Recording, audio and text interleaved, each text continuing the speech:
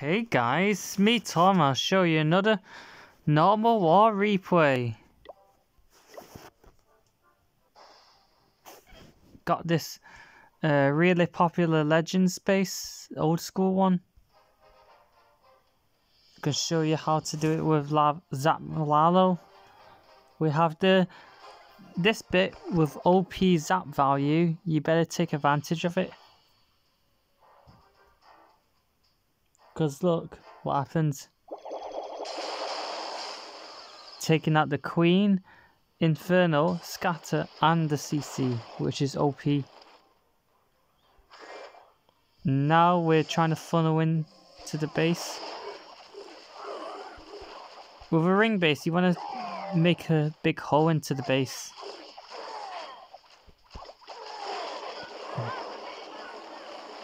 Nice.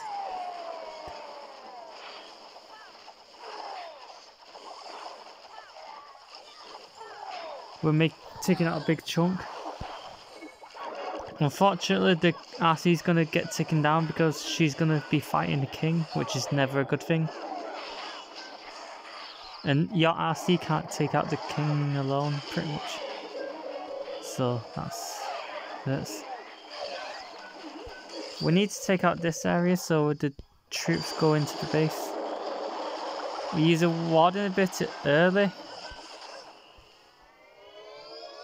In this space, the tornadoes near the eagle area, near the scattershot eagle area, we use the warden bit to protect our headhunters and also to, you know, just get into the base like that.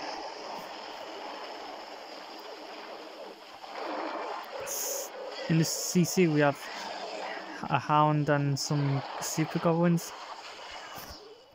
We use this hand, hound to tank the scatter shot, otherwise the scatter shot will hit the loons instead of the hound.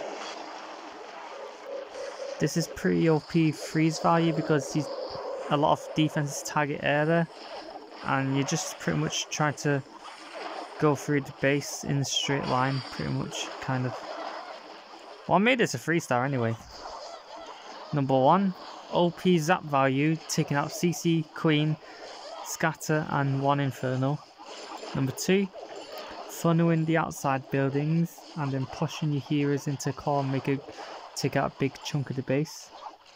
Number three, doing the Lalo, but uh, the, you put in the headhunters, the Lalo, and the blimp, and then use the Warden Invader to protect all of them whilst the RC goes down and stuff. Then number four, use appropriate spells. make taking making sure you take care of the other scatter shot and the air sweepers and having enough clean up troops so you don't time fail.